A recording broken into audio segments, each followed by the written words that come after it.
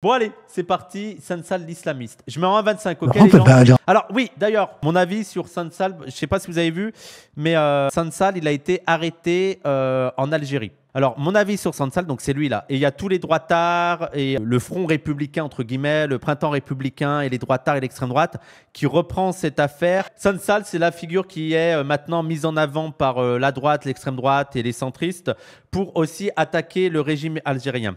Donc mon avis très vite. Premièrement, euh, je ne suis pas full au courant de tous les travaux de Sansal.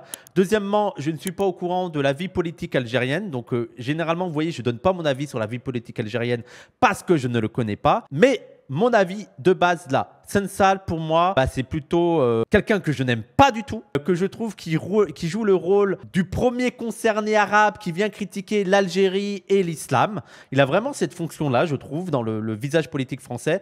On lui donne la parole parce que c'est quand même un premier concerné. Il a été en Algérie, il connaît l'oppression de l'islam et donc il peut nous, avertir. C'est pour ça qu'ils aiment beaucoup le mettre en avant.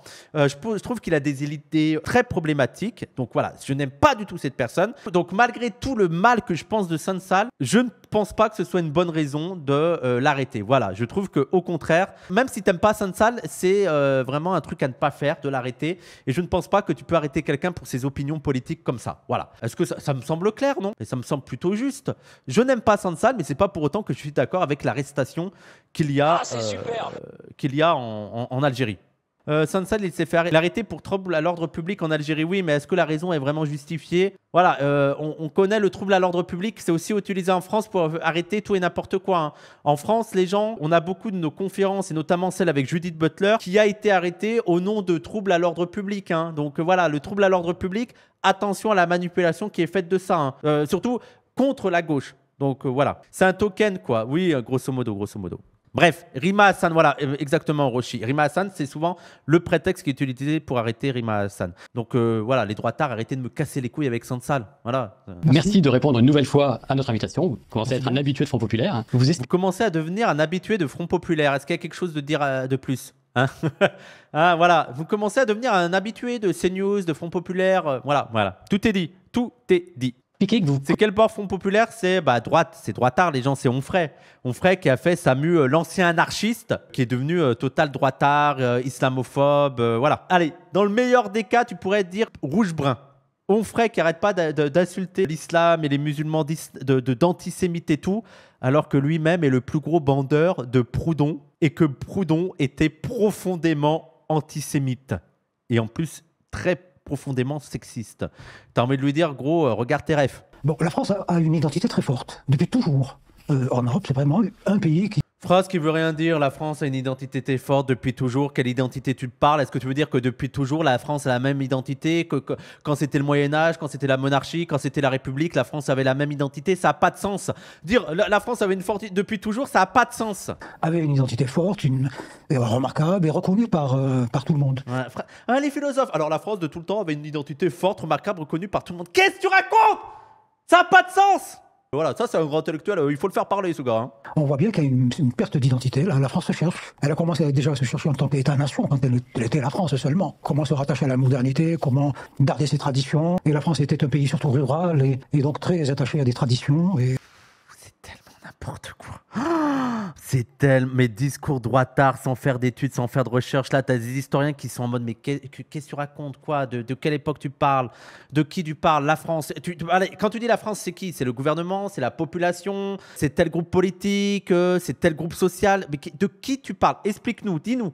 Euh, établis les termes avant de dire oui, la France de tout le temps se rechercher et tout. Qu'est-ce que tu racontes? Il y avait aussi une volonté euh, dans beaucoup de milieux de s'ouvrir, vraiment de sortir de la province du territoire et de, et de conquérir du monde- du- du- le, le monde de s'ouvrir et de conquérir le monde. ouais, oui, on appelle ça la colonisation, effectivement. Oui, bien joué, bien joué, euh, Sansal. Oui, j'avais vraiment une volonté de s'ouvrir, de conquérir le monde.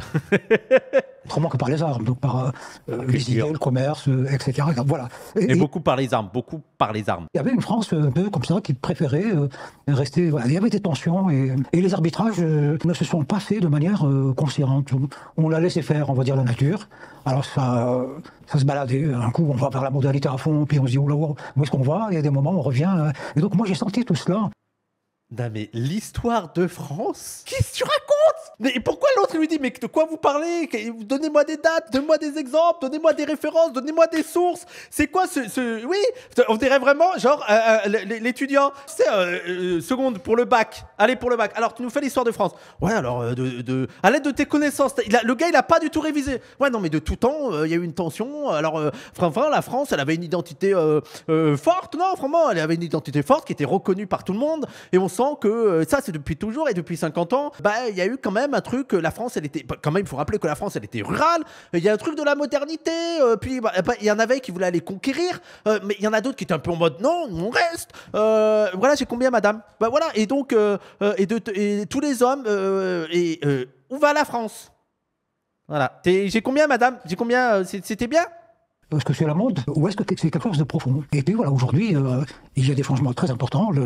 la France, je crois qu'elle est sortie de l'État-nation euh, avec une forte identité. Elle est, elle est dans le monde, elle est dans l'Europe. Géographie euh, niveau 6e. La France, elle est dans l'Europe, elle est dans le monde. Oui. je ne sais pas ce que tu essayes de dire, mais oui, c'est pas faux. Et elle n'a pas encore fait des choix fondamentaux qui sont encore là.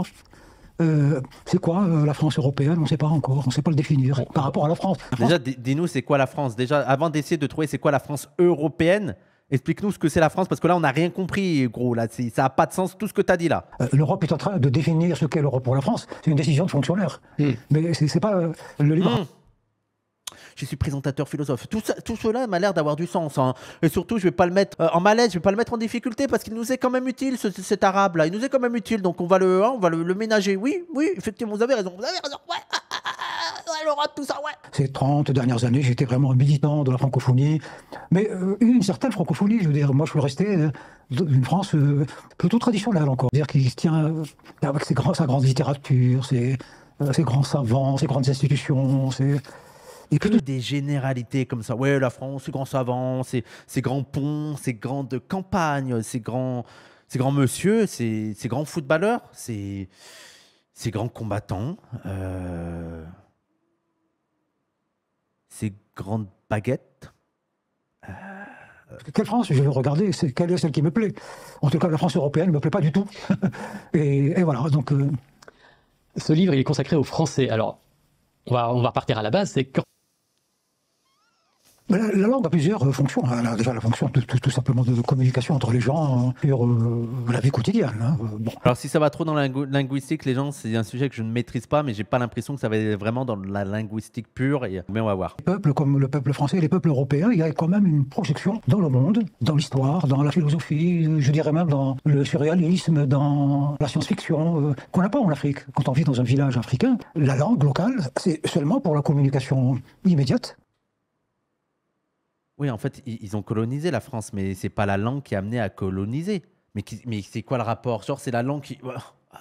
En fait, pourquoi on parle français dans d'autres régions? Et pourquoi ça a eu autant d'importance? C'est pas inhérent à la langue c'est qu'il y a eu des politiques coloniales qui ont fait que les, Français ont pu s'étendre. Toi, mais c'est pour ça aussi. Pourquoi on parle plus anglais actuellement? Parce que l'impérialisme américain, parce que c'est eux qui ont la domination économique, politique et culturelle. Et tu le vois dans l'histoire, tu, tu, le vois au cours de l'histoire. Les gens vont davantage parler la langue des, puissants. C'est logique mais c'est pas un truc qui serait inhérent à la qualité de cette langue et qui serait euh, en fait euh, fondamental euh, par l'essence même de cette langue, c'est d'être universellement. Bah non, c'est pas comme ça que ça marche. Ou alors que dire de l'arabe? Regarde comment l'arabe s'est étendu. Tu veux dire que c'est inhérent à l'arabe? L'arabe, euh, parce que là, euh, on est quand même pas mal. Il y a même une époque, c'était encore plus puissant. C'était même la, langue euh, à travers laquelle parlaient de nombreux philosophes et tout. Donc, mais c'est pas la langue en elle-même qui fournit vraiment ça. Donc la langue évolue très vite et elle a rencontré, avec les progrès, l'éducation, l'ouverture sur le monde, une plasticité du cerveau qui, qui, avale, qui apprend beaucoup de choses, qui des, nouveautés, la science amène des, des nouveautés je rappelle que le Front populaire se la joue euh, intellectuel, euh, qui réfléchissait tout. Hein. Voilà ce qu'il nous donne. Hein. Voilà la purée qu'il nous donne là. C'est n'importe quoi. Et là, il y a, peut-être un peu, on perd un peu son arme, on en prend une autre, on ne sait pas laquelle, parce que notre arme, je pense, est notre. Est-ce que c'est pas positif qu'on apprenne plusieurs langues? Je comprends pas, parce que là, il va dire. Et là, le problème, c'est qu'on apprend d'autres langues. Mais là, si on apprend plusieurs langues, la plasticité du cerveau, c'est bien, ça le mobilise, ça le, ça le stimule. Surtout notre esprit, sont déterminés par la langue. Il n'y a rien d'autre qui influence l'âme et l'esprit que la langue. C'est pas Ah notre oui. comportement tous les jours, c'est pas ce que nous mangeons, peut-être un petit peu, mais pas beaucoup. Tout par la langue, en fait. Et tous les, tous les francophones, je sais pas, mais vous l'avez remarqué. En fait, il n'y a que la langue qui détermine la manière de penser. Et c'est ce qu'on remarque, c'est que tous les francophones pensent pareil. Bah oui. Et tous les anglophones pensent pareil. Bah oui, c'est- la langue qui détermine. Bah oui, bah oui. J'avais lu dans un article il y a quelques Ah. années qui m'avait vraiment, et surtout qui avait étonné le matheux que je suis, qui réfléchit sur les fonctions exponentielles et, en mathématiques, comment le désordre crée l'ordre. C'est d'ailleurs la, seule façon de créer l'ordre, c'est par le désordre. L'ordre sur l'ordre, ça mène à des... Ça, c'est profond. Ça, il a, il lu un truc de mathématiques quantiques.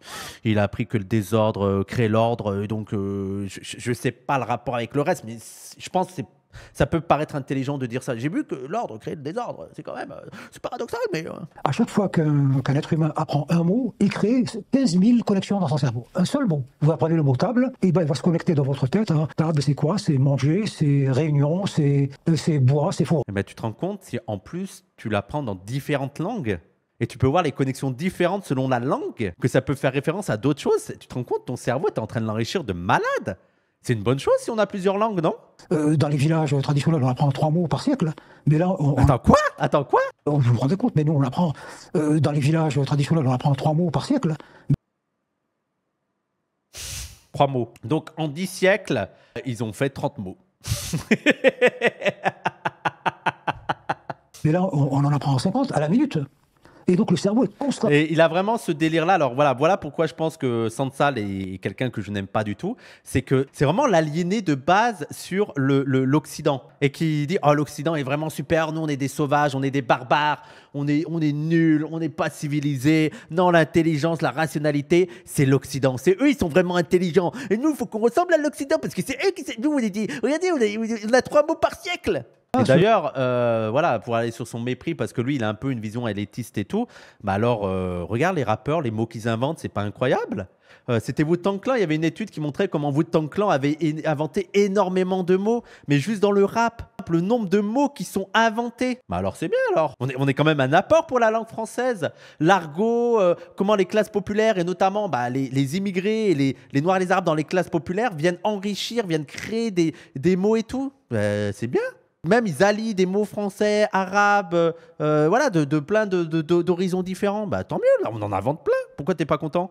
Déjà, il raconte de la merde sur les mots parce que c'est un truc que même les linguistes n'arrivent pas à définir. Ensuite, le propre du langage humain, c'est sa double articulation, sa capacité à générer une infinité de propos distincts d'après un nombre défini et limité de termes existants à un moment donné. D'accord. Moi, après, moi, sur la linguistique pure, les gens, je ne comprends rien. J'ai déjà essayé de lire Noam Chomsky, qui est pourtant mon goth, et j'ai essayé d'aller le voir, ses, ses travaux de linguistique, et je sais que maintenant, ils sont un peu dépassés les travaux de Chomsky en termes de linguistique, mais qu'il avait marqué quand même une révolution à une époque. Je ne comprends rien. Voilà, je vous le dis. Je ne pige rien. On sent euh, à plusieurs reprises que vous êtes mal à l'aise avec une certaine évolution de la langue française, notamment aux apports de l'anglais, fameux Lovitch dont vous parlez, Oui. Quoi Pourquoi Pourquoi C'est quoi le problème? Dire des banlieues arabisants, donc vous de wesh wesh. Ouais. ah ouais, c'est les wesh wesh, oui, il n'y a pas de. Les wesh wesh. Non, mais voilà, voilà, vous voyez qui c'est, Sansal, les gens?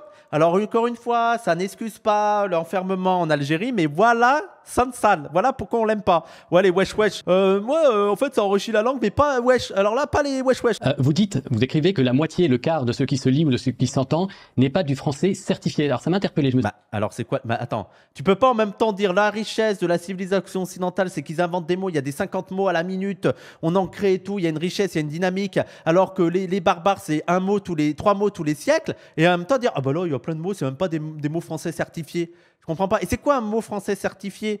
Tu es au courant des origines de plein de mots qu'on utilise? Ça veut dire il n'y a pas un mot français pur. Qu'est-ce que tu racontes? Ouais, AOP langue française.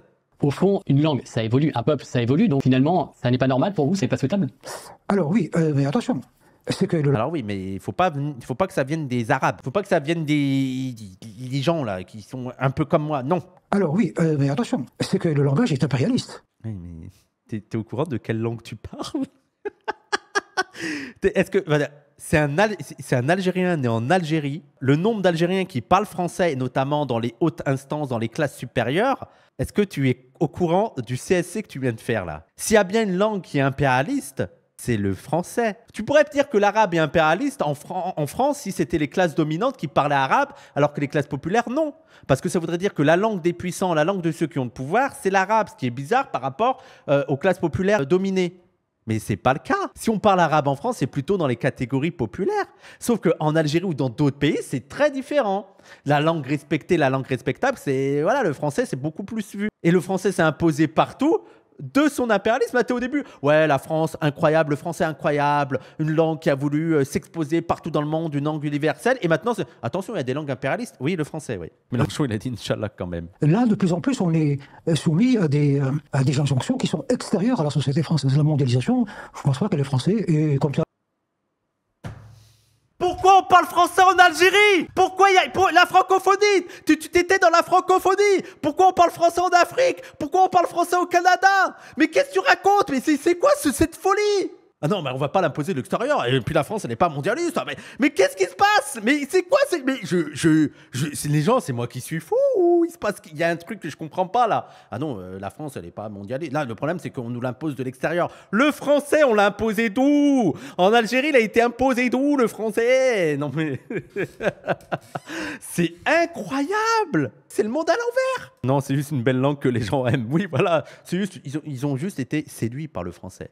Il y a la démarche volontaire personnelle euh, qui a fonctionné en France ben, jusqu'à une date récente. Il y a l'académie, il y a les institutions, l'université, il y a l'école républicaine. Mais même, attends, attends, attends, même pour le français, gars, même pour la France, ça s'est pas fait pacifiquement l'imposition du français. Gros. Je veux dire, même sans parler de l'Algérie. En France, il y a eu euh, toute une politique, euh, notamment liée à l'État-nation, pour détruire les parlers des régions, les, langues régionales et tout. Qu'est-ce que tu racontes? Mais c'est une folie. Mais il est même du point de vue purement français, c'est n'importe quoi. Et il a invité sur Front Populaire. Hey, Front Populaire, c'est la chaîne euh, ouais, euh, du terroir, euh, de la France, de la vraie France, de la France. Et je suis, je, je, suis plus alerte que vous. Je suis plus régionaliste que vous. Je suis plus terroir. Je suis plus terroir que Front Populaire. C'est quoi cette dinguerie? Hey, Front Populaire je suis plus en mode attention, quand même, on a détruit les particularités locales en France, la richesse de la France et tout, de sa diversité. On l'a... Même moi, je suis plus que. Hé, on ferait, qu'est-ce qui se passe? Pourquoi c'est moi, je dois les défendre, les terroirs? Après, c'est pas c'est vrai que ça, ça a beaucoup été par autocensure des gens plus que par réelle coercition. Mais en fait, gars, si on t'explique que pour accéder à, des positions préférables, notamment pour avoir du succès à l'école, pour bien parler, pour avoir un bon travail, pour aller à l'école et tout, euh, pour euh, que, tu as des pressions économiques, culturelles et tout, et que tu comprends que pour avoir euh, des meilleures conditions de vie, bah, tu dois parler français, bah, gars, c'est de la coercition, gars. Et l'autocensure, elle est aussi causée par des pressions. L'autocensure. Ah non, on parle pas parce que ça va être mal vu, parce qu'on va revenir et tout. Regardez le, rôle qu'ont joué les profs euh, durant cette période. Voilà, rien qu'à l'école, déjà, oui, il fallait parler correctement. Et c'est pas pour rien, parce que vous dire oui, c'est à l'école, c'est pas pour rien qu'il y a beaucoup de comparaisons de Foucault sur l'école et la prison. Hmm. On interdisait aux causes de parler de breton à l'école. Oui, mais c'est pas de la... Oh, oh. Oui, les accents, même les accents. Bah oui, exactement. Oui, même les accents, hein, c'est mal vu. Hein. La glottophobie, c'est ça le... Et, j'y connais quelque chose. Hein. J'ai moi-même été glottophobe. Désolé les, Québécois. Donc l'Europe eh ben, est en train d'imposer aux Français, aux Espagnols, aux, ses propres croyances, d'où elle sort. Moi j'ai envie de dire... Attends quoi? Il va dans tous les sens, on est d'accord qu'il n'y a pas de logique. Moi j'ai envie de dire à, ceux qui dirigent l'Europe, euh, vous, vous parlez de valeurs, valeurs, vous les tirez d'où? Quand on est en France, on sait d'où les tire. On a une tradition judéo-chrétienne, patati. Oh putain... Puis même les valeurs de la tradition judéo-chrétienne, tu veux qu'on en parle? Va dire, allez, allez, allez dans l'histoire judéo-chrétien. Allez, vas-y, on va sur ça. Est-ce que ça a du sens de parler de judéo-chrétien? Tu veux qu'on fasse l'histoire en Europe de la cohabitation entre juifs et chrétiens? Rien que ça. Rien que ça ils ont une autre vision, ils ont d'autres légendes, d'autres. Et ce travail, on le fait pas. Voilà. Donc, et là, de plus en plus, euh, il y a, euh, bah, je sais pas. Attention les gars, il n'a pas encore parlé d'islam. Hein. Rendez-vous compte. Hein. Rendez-vous compte le nombre de conneries qu'on a entendues. Il n'y a pas encore eu le sujet de l'islam est en train de conquérir la France. C'est ces forces extérieures, l'Europe, donc qui, qui s'impose à la France, qui lui dicte euh, comment penser les choses, comment les écrire, comment on impose par exemple l'écriture inclusive, des choses comme ça. Bah, tu, veux dire, allez, dans, des idées, tu peux dire, bah, ça fait partie de la dynamique. quoi. L'histoire continue. Maintenant, il y a des gens pour performer la langue, pour l'améliorer, entre guillemets, pour réfléchir sur la langue. Ils continuent à réfléchir sur la langue. Et maintenant, ils parlent d'écriture euh, inclusive. Tu vois. Même, tout en, même si tu peux être critique sur ça, bah, ça fait partie de l'histoire de la réflexion autour de la langue. C'est aussi un signe de vitalité. Les gens sont là encore réfléchir sur ça. Ils ne s'arrêtent pas de dire ça, c'est terminé. C'est vraiment le réactionnaire, mais qui accepte pas d'être réactionnaire, qui dit non, mais moi je suis plutôt progressiste. C'est bien, on va dire la, richesse de l'Occident, c'est qu'elle a été progressiste. Euh, voilà, il y a des valeurs. Euh, mais le problème, c'est que maintenant le progrès va trop vite pour lui. Il est dépassé et donc il devient réactionnaire. Mais il essaye de le masquer. Il n'arrive pas à l'avouer qu'il est réactionnaire et conservateur. Parce que pendant sa tête, les réactionnaires et les conservateurs, c'est les musulmans, c'est l'islam, c'est eux les grands. Non, moi je suis pas ça. Mais bon, il y a quand même des trucs, c'est un petit peu abusé. Hein, parce que le progrès va trop vite, mon petit vieux. Eh oui, eh, eh oui, la vie continue, gars. En permanence, et du coup, on tue le langage. Et puis, il y a cet impérialisme religieux islamique qui. Ouais! Allez, c'est parti. Allez, go. Allez, encore on est responsable de la destruction de la langue française? Allez, let's go. Qui est là, et qui ne vise pas spécialement la France aussi, quand même spécialement parce qu'elle est regardée comme la fille aînée de, de l'Église, et donc c'est un bastion à prendre. Euh, Mais c'est quoi cette vision complotiste? Parce que là, il dit, ouais, l'islam vise spécialement la France parce que la France est vue comme la fille aînée de l'Église. Mais c'est quoi? Il y a des, on, s'est réunis et on s'est dit, faut d'abord qu'on vise la France parce que la France est la fille aînée de ah, l'Église. Donc on va venir beaucoup, beaucoup en France pour convertir la France parce que c'est quand même la fille aînée de l'Église. C'est quoi? On s'est réunis? Il y, a eu un, conseil et tout. Et d'ailleurs, tu as oublié que s'il y a autant de musulmans en France, bah, c'est peut-être euh, voilà l'Algérie, la colonisation, tout ça bref. Mais euh, je comprends pas la logique. En, islam, on est resté toujours sur l'idée que la conquête était un ordre de Dieu, et, ça a été confié aux arabo-musulmans. Ils ont été bloqués deux fois. Euh, euh, c'est plus, ils ont été bloqués à, Byzance, mais ils ont fini par. C'est-à-dire qu'on est les mêmes, hein. les arabo-musulmans. Ah, d'ailleurs, les gens qui disent les arabo-musulmans, est-ce que, par exemple, les musulmans d'Asie, est-ce que ça compte ou pas? Est-ce que vous les mettez dans vos arabo-musulmans? Vous là, vous parlez que des arabo-musulmans Parce que c'est un terme que vous interrogez pas. Mais par exemple, allez regarder l'Angleterre, bah, c'est pas que des arabo-musulmans qui sont musulmans.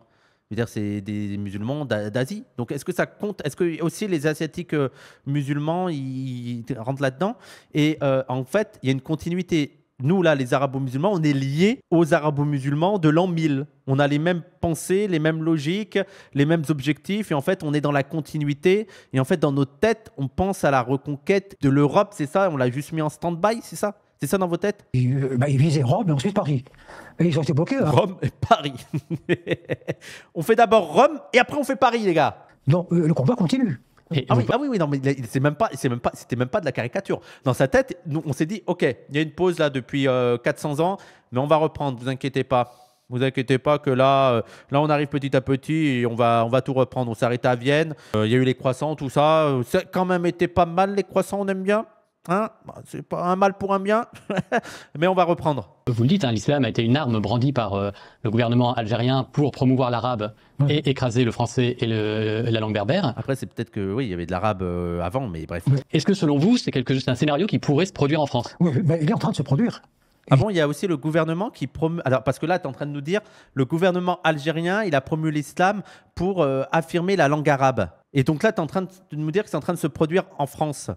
C'est-à-dire qu'en France, il y a le gouvernement qui promeut l'arabe. Enfin, qui promeut l'islam pour promouvoir l'arabe. C'est ça qui est en train de se produire.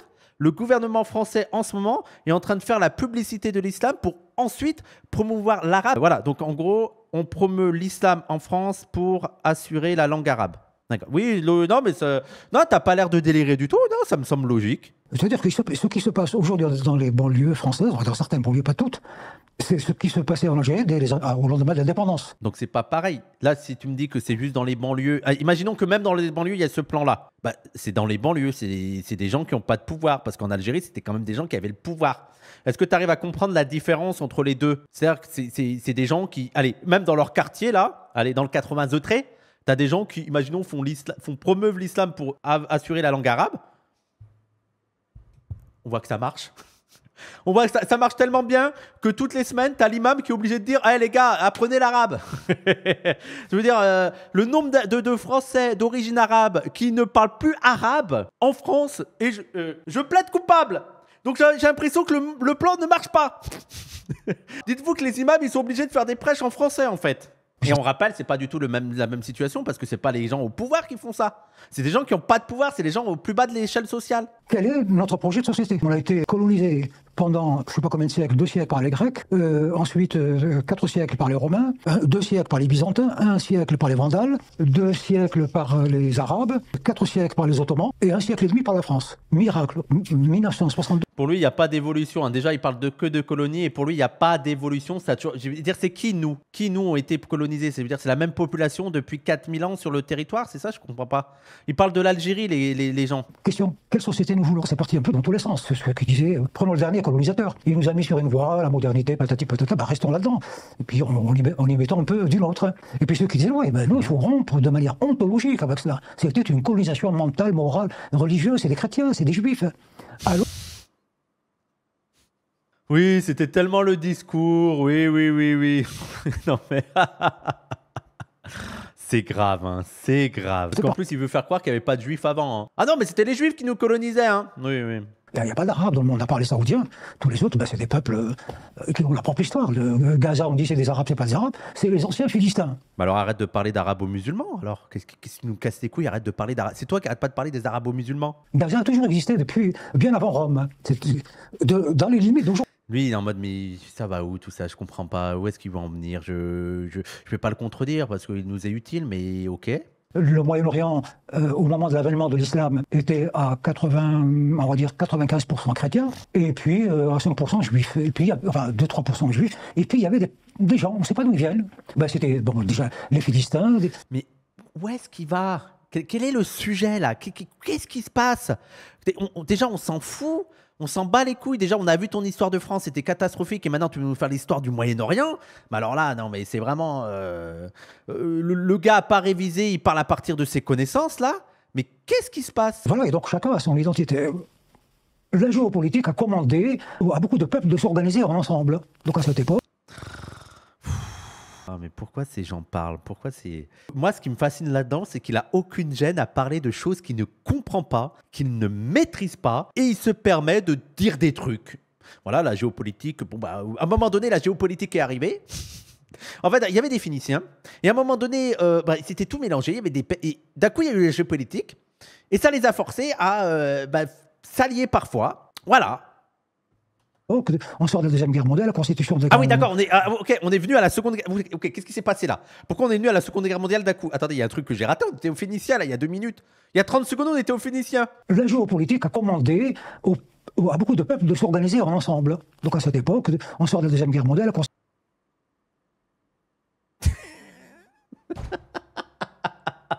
il a même oublié la première. Hein. Waouh Waouh Waouh on était aux Phéniciens, je rappelle. Hein. Et, donc on arrive à la Seconde Guerre mondiale.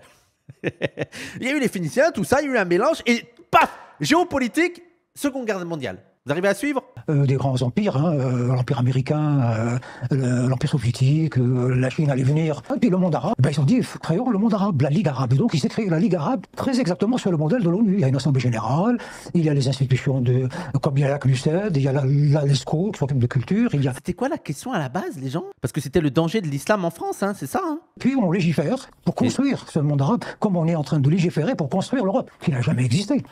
Et Bon, donc, euh, euh, quel projet de société? Donc, ceux qui disaient. Bah, le monde américain aussi, il n'a jamais existé, hein, mais on l'a construit, quoi. Oui, euh, tout, tout, est construction humaine, oui. Ok, mais où tu veux en venir? Et puis ceux qui, carrément, les, ceux qui sont, on va dire, les vieux peuples primitifs, hein, ceux qui disaient, non, non, mais avant Rome, avant les Grecs, nous existions. Ah oui, avant les Grecs, ah ouais, mais ils sont un peu vieux, ces peuples, non? Ils ont quel âge, là? C'est qui, ces gens? Avant, avant les Grecs? Il, il en existe encore, c'est qui?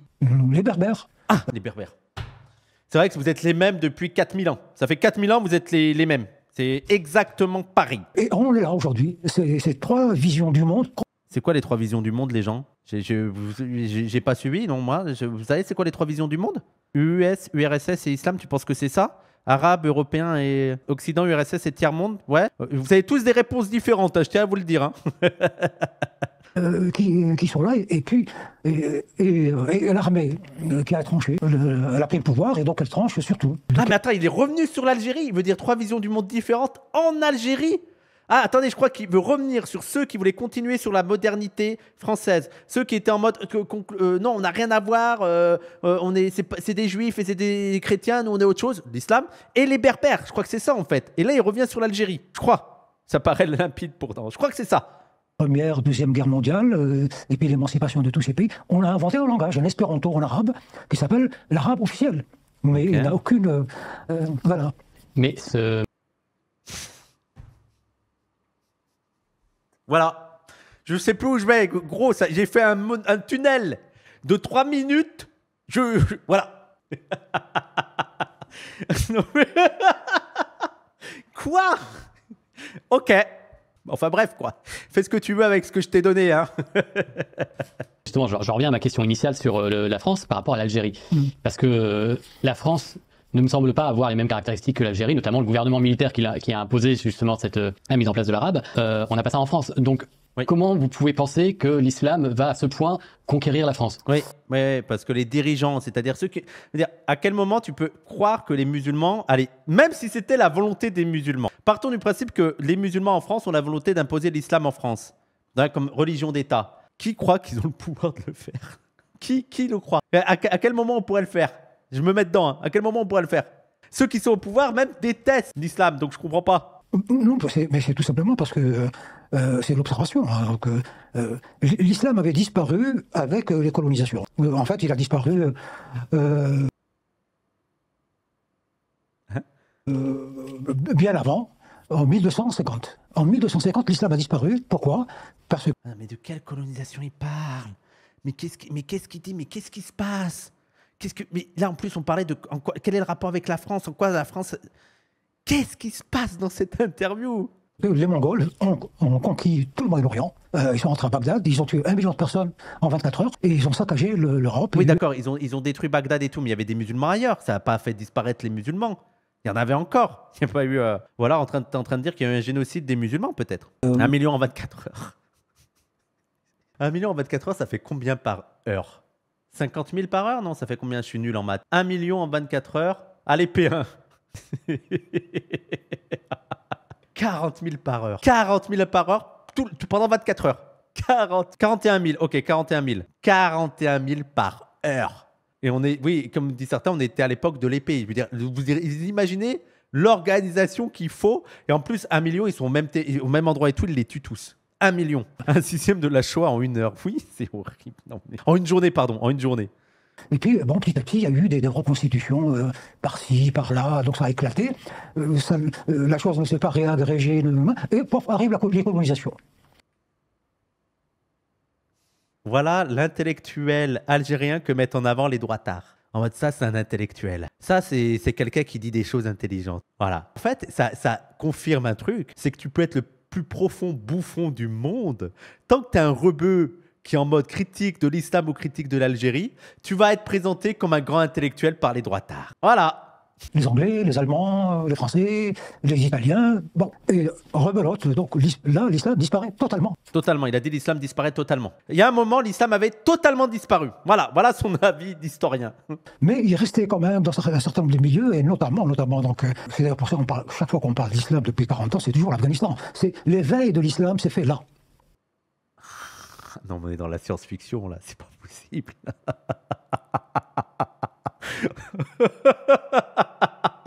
non, mais c'est n'importe quoi, là. Il a disparu partout sauf qu'en Afghanistan. Mais, mais de quoi tu parles? Explique-nous de quoi tu parles. En fait, tu veux dire le, courant rigoriste C'est ça que tu voudrais nous dire? Je ne comprends pas. C'est dans ce pays, dans une région à cheval entre l'Iran et l'Afghanistan, qu'on appelle le Khorasan. Euh, c'est là qu'elle C'est une région très particulière. Oui, la question c'était comment l'islam va conquérir la France. Et c'est n'importe quoi. C'est là qu'est né le zoroastrisme, le sadisme. Ils étaient vraiment euh, euh, fous de religion. Euh. Ah, je vous jure, je rigole parce que c'est n'importe quoi, ça mélange tout. Là, il est après la colonisation et en fait, c'est là qu'est revenu l'islam à travers l'Afghanistan. Donc, il veut nous parler de, des années 70-80, le retour des islamistes en Afghanistan et il nous parle des zoroastriens c'est très intelligent aussi. Hein. Et c'est là qu'est né l'islam. L'islam n'est pas né en Arabie, en Mecque, comme on raconte. c'est l'histoire officielle, là, évidemment. Alors, même l'histoire inofficielle, je sais pas, c'est la première fois que j'entends euh, quelqu'un nous dire ça. C'est quoi tes sources? Je veux dire, même les historiens de l'islam qui sont pas du tout dans l'apologétique de l'islam, qui sont des théoriciens euh, laïcs, n'ont pas cette théorie. Non, mais- Eh, Front Populaire, bravo. hein. Eh, vraiment, eh, non, non, de la qualité. Là, vraiment, vous m'avez enchanté. Là, vraiment, c'est de la qualité, vos interviews. hein. C'est des intellectuels de génie. Hein. Dieu nous, en veut beaucoup d'avoir perdu l'islam, d'avoir euh, perdu les conquêtes faites par le prophète et les califes. Il faut rattraper tout cela. Et comment? Et donc, le premier débat, donc on est au moment des colonisations. Hein, Mais desquels Desquels T'arrêtes pas de parler colonisation pour tout. Desquelles colonisation Tu nous perds Euh, alors, mais quel islam? Alors, bon, des débats comme ça dans les mosquées entre savants, tout ça. Bon, on a chacun choisi, l'Iran a choisi le chiisme, euh, les Égyptiens ont choisi. On rappelle, les gens rappellent la question, c'était oui, mais euh, ce qui s'est passé en Algérie avec la conquête de l'islam, comment ça peut se passer en France? C'est pas du tout la même situation. On rappelle. hein. Cette institution bizarre que les Français euh, se trompent, enfin tous les Européens se trompent lourdement en disant que la mosquée est un lieu de culte. La mosquée n'a jamais été un lieu de culte, c'était un lieu de gouvernement. Euh, Conquérir un pays. Ah, Après, ça pourrait être même les deux. hein. Ça peut être un lieu de gouvernement et de culte. Mais bref, allons- allons-y, allons-y. Non, mais non, mais les gens, je vais pas m'arrêter à chaque connerie. Je vais pas. euh, oui, ok. Ils arrivent et ils ne savent pas du tout gouverner. Et puis ils ne savent pas utiliser les institutions qu'ils trouvent dans les pays.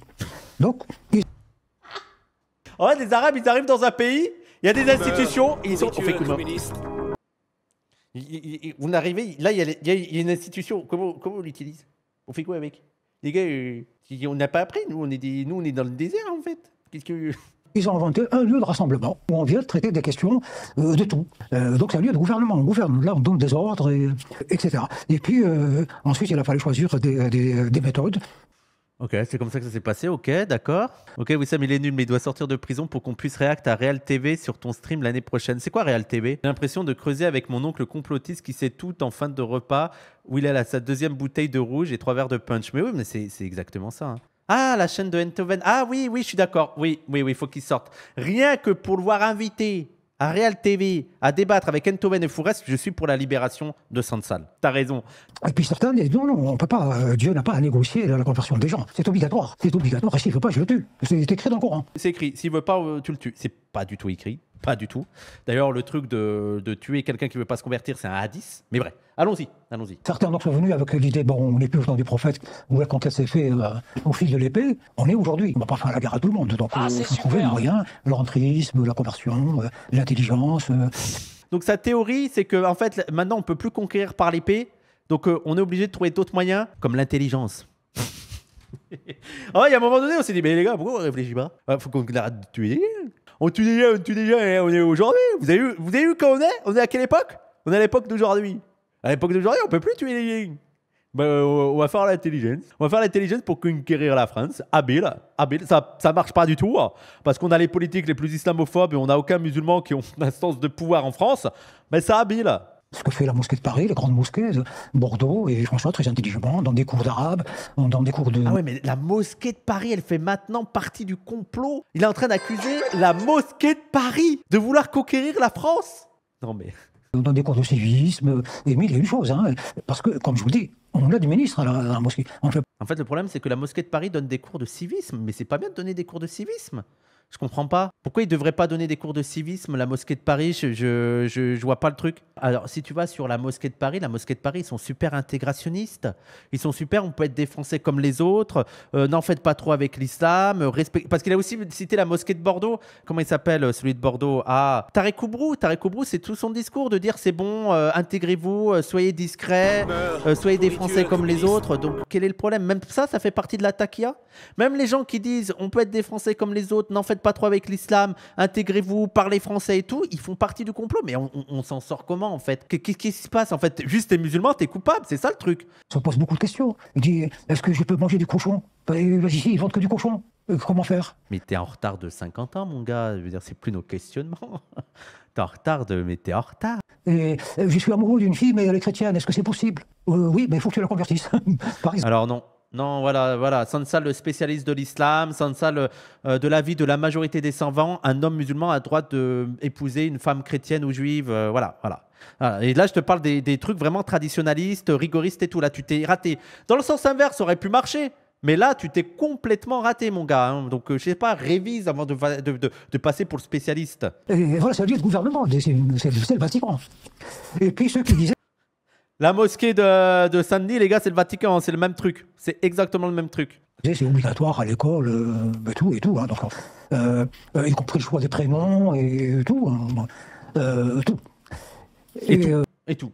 ceux qui, des pays arabo-musulmans et musulmans, ont émigré en Occident, ils sont assaillis au jour le jour de questions bizarres, de, comme celle-ci. Est-ce que c'est bien de faire ça? Est-ce que c'est mal? Est-ce que... On bat Oui, mais couilles. comme tout le monde, tout le monde, tout le monde a des questions morales. C'est pas seul- En fait, ce qui m'énerve là-dedans, c'est les, les musulmans sont assaillis de questions, mais tout le monde a des questionnements moraux. Pas seulement les musulmans, même les athées. Ils se demandent si c'est bien de faire ça, pas bien de faire ça. Est-ce que je dois consommer comme ça? Rien que pour des questions écologiques. Est-ce que je dois vraiment acheter ci Est-ce que je dois acheter ça Est-ce que je dois traiter la personne comme ça? Je veux dire, faire croire qu'il y a que des musulmans, les religieux, qui ont des questions morales, je comprends pas. Ils leur, ils leur lisent les bons versets. Ils disent quand tu es chez, chez l'étranger, bah, il faut le respecter, euh, respecter ses règles. Il faut pas que tu t'affiches. euh, euh, c'est une vieille, chez les juifs, c'est naturel depuis toujours. Non, non, non, arrête de dire que chez les juifs c'est naturel depuis toujours. Les juifs, ils, ils essayent aussi de conserver certaines traditions. Les juifs, ils mangent cachère, non? Les juifs, ils mangent pas de porc. Pourquoi là c'est- Je comprends pas là. En plus, on prend deux exemples. Cachère, pas de porc. Qu'est-ce que tu me racontes? Alors attends, chez les juifs, ça dépend aussi des rabbins, mais bien sûr, les gens, bien sûr. Mais tu as aussi des juifs qui continuent à manger pas de porc, mais comme chez les musulmans, comme chez tout. Il y a 150 courants possibles. Mais de nous faire croire que les juifs se sont totalement adaptés, que maintenant. ils- Non, mais il y a les mêmes questionnements chez les juifs que chez les musulmans. Et il y a les mêmes euh, discours, il y a les mêmes, euh, il y a les mêmes désaccords, il y a les mêmes. euh, Voilà, ils essentialisent tout, c'est ça le problème. Et faire croire que les juifs sont bien intégrés, pas les musulmans, mais c'est n'importe quoi. Mais c'est parce qu'on met une focale, par exemple, sur les musulmans qui mangent pas de porc, alors que c'est pareil pour les juifs, ça pose pas de problème. On s'en fout qu'ils mangent pas de porc. Il y a aussi des gens, ni musulmans, ni juifs, ni chrétiens, totalement athées, qui mangent pas de porc, qui mangent pas de viande. C'est bon, arrêtez de nous casser les couilles. Il ne peut pas vivre seul, un musulman. Peut pas. Donc il doit être dans la communauté. Qui peut vivre tout seul déjà? Qui peut vivre tout seul? Qui? Je pense qu'il aime pas trop l'islam. Non, non, non, non, je crois pas, non. Par le biais de l'ingérence de certains pays, par, euh, par l'envoi de la diaspora. euh, L'envoi de la diaspora. Là aussi, vous êtes en retard, c'est plus les mêmes problématiques. la Syrie, le, le Qatar, euh, etc. C'est une ingérence. Alors, alors, euh, certains le font par la politique. De, Mais, et, et moi, toujours le, le- le même discours. Allez, allez, l'ingérence des musulmans en France qui veulent changer les lois et tout. Donnez-moi un exemple que ça a marché. Un exemple de loi favorable aux musulmans là, ces, ces 15 dernières années. En quoi, que- que- que- quelle est leur réussite institutionnelle? Un exemple de réussite institutionnelle des musulmans. Dites-moi. Je, je, je, je vois pas. Je vois pas. Le PSG. Voilà, c'est pour ça, aujourd'hui, le, le globalisme est- nous est imposé par la globalisation. Donc, derrière, il y a les, les anglo-saxons. hein, donc, c'est eux qui donnent le là. Ah d'accord, c'est. Je m'attendais pas à ça. en fait, c'est à cause des anglo-saxons. Qu'est-ce qu'ils viennent foutre là, les anglo-saxons? Non mais. Ça, derrière, il y a les anglo-saxons, c'est eux qui dominent tout. euh, C'est eux qui donnent le là, la CIA. Euh, quel rôle joue euh, Emmanuel Macron dans l'affaiblissement du niveau linguistique français? Alors, quand je dis Bon, Emmanuel allez, Macron, allez, allez, ça m'a saoulé. Allez, en plus, Macron, je m'en pas les couilles. Macron, explosion, euh, tout ça, tout le blabla et tous les gens. Bon, voilà, voilà pourquoi on n'aime pas Sansal. Voilà, vous avez compris. Alors, ça veut pas dire que c'est pas pour cette raison que c'est autorisé de l'enfermer en Algérie. Les Algériens, alors, moi, j'aurais un message aux Algériens. S'il vous plaît, libérez-le. Je veux d'autres réacts sur Sansal. Ça me fait trop marrer. Laissez-le parler. C'est une dinguerie tellement il est Mais je pense que la meilleure propagande à faire contre Sansal, c'est de laisser Sansal parler. c'est incroyable. Libérez, libérez Sansal, s'il vous plaît, pour notre bonheur.